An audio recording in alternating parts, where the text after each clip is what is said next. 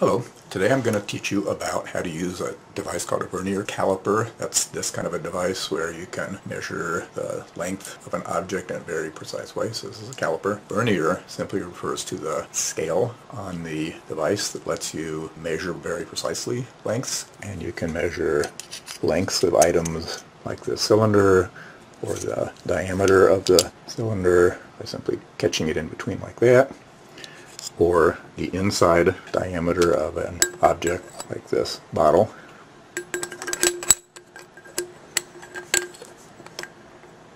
So we open it up to its widest within the bottle and then we can measure the diameter of the bottle.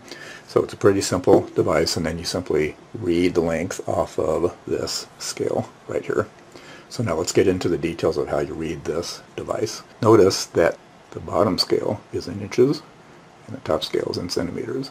So what we're going to do is read this length on the top scale here. But how do you read it? It's going to be somewhere along this scale. But where's the pointer? Well, the pointer is this zero on the top. So you'll notice this zero right here, where that line is pointing on the bottom scale, is the reading that we want to take. So where is that zero line pointing in this particular case? Well, it's somewhere between 2 and 2 and a half, 3. So it's kind of between the 2 and a half, that's 2.5, and 2.6. So it's somewhere between 2.5 and 2.6. So let's write down 2.5 and realize that there's going to be some other digit or digits after the 2.5.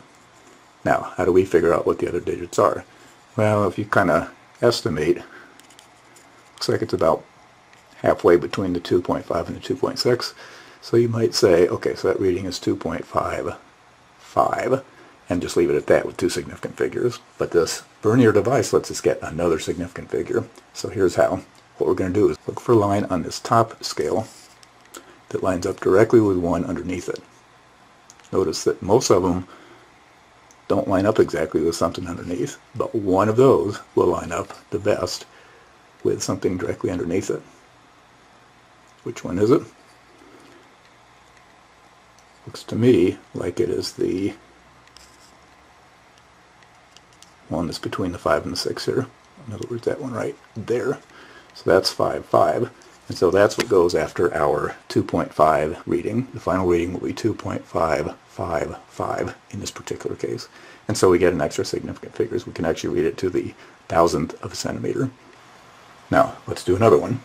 Let's measure the length of the cylinder. So I've caught it right in the jaws here. And now I, can take it out as long as I don't slide it anymore. So notice the zero line on the top scale is pointing between the 5 and the 5.1 on the bottom scale. So see that zero pointer? Where is it lining up with? It's lining up between the 5 and the 5.1. Okay, so we can say that it's 5.0 something. 5.0 something. But what is the something?